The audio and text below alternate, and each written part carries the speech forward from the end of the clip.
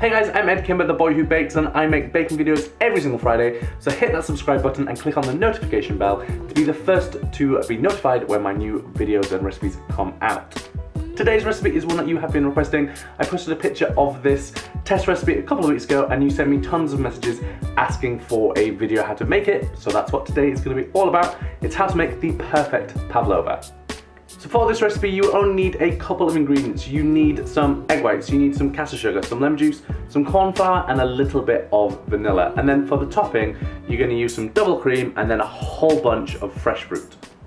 So one of the main tips for a pavlova is all to do with the egg whites. Now, the best thing to use is old eggs. So not eggs that you've had lying around for weeks and weeks, but eggs that aren't super fresh because when they're really fresh, they don't whip up as easily, so you don't get as much volume. So a slightly older egg white is key. And then the other part that is different from a normal meringue is how you make it. So we're gonna add a little bit of acid in the form of uh, lemon juice. I'm not a fan of vinegar, which most recipes use because I think you can taste it, whereas lemon juice actually has a sweetness to it, so it's quite nice. And then corn flour, and we're gonna mix those in at the end because that will give it the real marshmallow texture that the pavlova is known for. Now, the other tip, when it comes to your bowl, this is a metal bowl, it needs to be super spotlessly clean. So I'm gonna take one of the lemons and rub it around the inside of the bowl because that gets rid of any excess fat that might still be on the bowl and it gets it means the egg whites will whip up really nice and full. The other thing that you need to have ready is your baking tray. So nice large baking tray and on the back of the parchment I have drawn a circle, just an 8 inch circle and that means that I know roughly where I'm trying to spread my meringue mixture. It's a real rough guide, it doesn't really matter what the size of this is, but it gives you something to aim for, which helps when you're trying to get a really nice, pretty, pretty pavlova. So, the first stage is to whisk up our egg whites. So we're gonna put all of the egg whites into the mixer in one go. And then what we're gonna do is we're gonna whisk that on medium speed until we've started to form a nice kind of almost meringue looking mixture. It'll start off where it looks like really big bubbles and really loose and there's still kind of a wet mixture on the bottom and then it will tighten up and the bubbles will become really nice and small and it's like almost like the bubbles on top of a bath. It's really nice and fluffy. And then we can start adding the sugar in a tablespoon at a time. And once it's all mixed, we're gonna whisk that until it becomes really nice, stiff and glossy. And then what we're gonna do is we're gonna add about two teaspoons of lemon juice and two teaspoons of corn flour. Add those to the mixture, whisk those to combine, and that is our meringue mixture made. You also are looking for the sugar to be fully dissolved. So if you rub some of the meringue between your fingers and you can still feel the sugar grains, it's not going to be quite there and that also means that you might get that weeping of sugar, those little bits of kind of sugar syrup that come out of the meringue. So nice, slow, medium speed so that it gets time to dissolve the sugar and still gets that really nice glossy peak. Okay, now that meringue is really nice and stiff and glossy and if you rub it between your fingers, no sugar grains, we can add the corn flour and the lemon juice and our vanilla. So what we're going to do is add the corn flour and then we're going to add two teaspoons of lemon juice. Obviously do it into a separate container first because we don't want to add any of the seeds.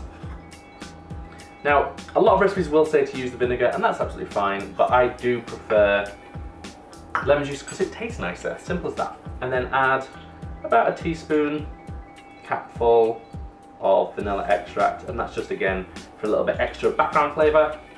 And just whisk that through until that's nice and smooth.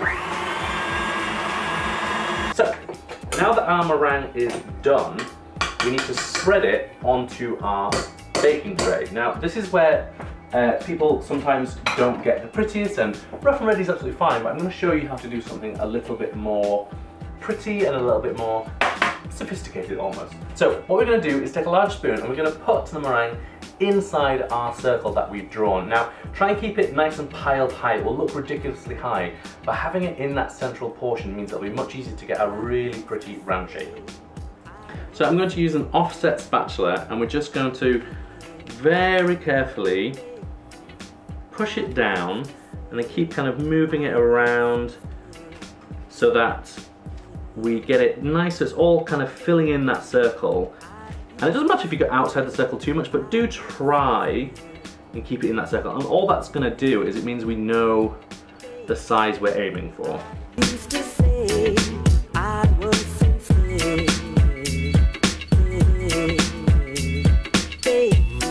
So what I tend to do is smooth it out like you're decorating a cake, like you're smoothing a cake. Like so.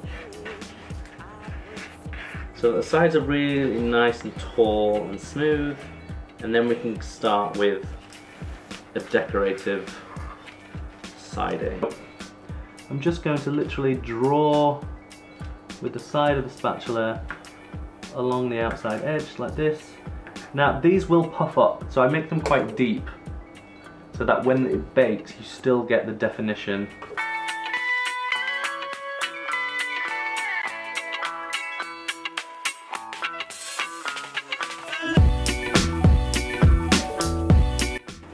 Now once it's done, you can totally leave these peaks if you want. I'm gonna leave them, or you can actually kind of brush them back in. But that's basically, that's basically the mixture. Now what we're gonna do is this is gonna go in the oven. It has been preheated to 130 degrees Celsius, and we're gonna leave that in there for 10 minutes, and then reduce the temperature to 90 degrees Celsius, and leave that in for a total of about an hour and a half until there's a nice crisp but still white shell and it feels firm but it's not got any kind of softness to it and that means that you'll get that nice crisp outside and that beautiful marshmallow inside.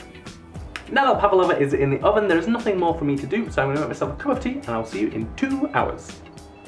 So once the pavlova has baked, we're gonna turn the oven off and leave it in there to cool down fully. The reason for this is if we bring it out of the oven now and let it cool at room temperature, the shock of the coolness of the room is gonna make the pavlova crack and kind of crumble. So we need to leave it in there, let it cool down nice and slowly. Now that it's made, we can actually get on with filling it and eating it.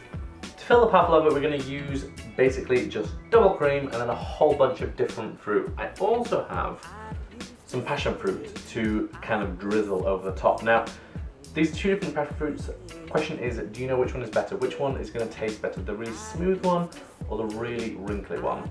The answer is the wrinkly one. Smooth ones are fine, but they don't have the good flavour and they don't have as much juice to them, so use ones that are wrinkly.